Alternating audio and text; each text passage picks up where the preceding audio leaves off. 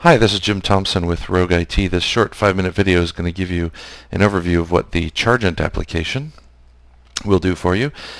We're going to uh, just show you three basic tabs. The first is the Gateway tab. You notice I've collapsed the left bar here just to make better use of the screen. This is what a gateway record looks like. We have one active gateway record per Chargent installation and so we would uh, encourage you to obviously only have one gateway configured. Here I'm using PayFlow Pro. Of course we do support uh, AuthorizeNet, Barclays ePDQ, and a number of other gateways that are in development such as Amazon.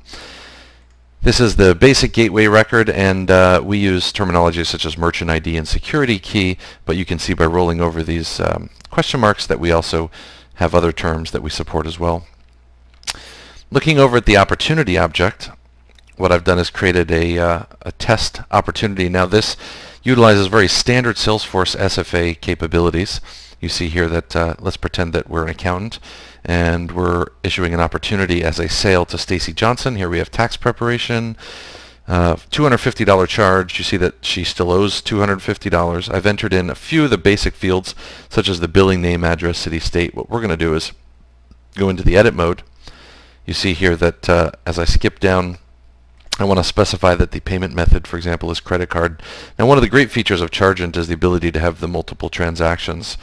You see here that uh, we can override and do a manual charge that is less or equal to, of course it wouldn't make sense if it were equal to, but less than the amount of the opportunity. So if you think of the amount of the opportunity being the uh, the amount of the order. So what we're going to do here is first charge Stacy a $50 deposit. You notice that we've not received any payment. The payment received field will be updated automatically. So we come down to the bottom and we're going to enter in Stacy Johnson as the name on the card, the uh, expiration month and year, which we'll put in here as February 2012. Sorry, it's getting cut off a little bit at the bottom. And we're going to enter in just the test card number, 16 digits, of course. We're going to save that. So now we've got an opportunity for Stacy Johnson with 100% uh, probability, obviously, because this sale is closed. There, I'll widen it out for you a little bit. You see I've got credit card. I have a transaction total of zero because we've not actually charged anything. So next thing we're going to do is come down here and hit authorize.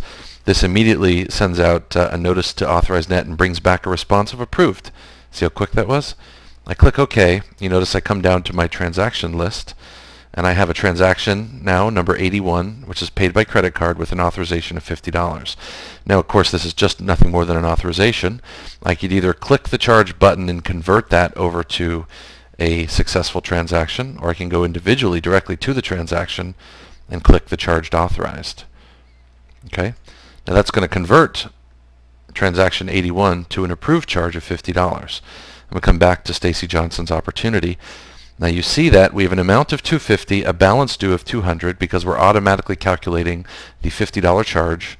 You see here transaction total is a total of all the transactions that are approved. We've had one such charge. Now if I were to uncheck the manual charge, what's going to happen?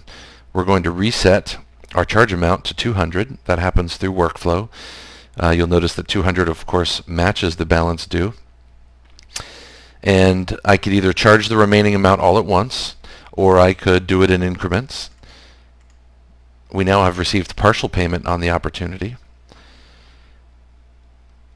So what I could do is, leaving this test card number in here, I could actually uh, issue the full charge of the $200 and that would set this as a fully paid opportunity. I could either uh, also change this over to a payment by check and specify that they're paying with a checking or savings account, and I could walk through the e-check process. That, of course, assumes that your gateway account is configured for electronic check. So we're going to save this $200 charge, and what we're going to do now is click the charge button. You see here now transaction 82 is approved. The page automatically reloads and brings us back our two, our two charges of 50 and of 200. You see that workflow has automatically set the payment received value of full. The balance due is zero we have two transactions for a total of $250. And that is how easy it is to use uh, Chargent.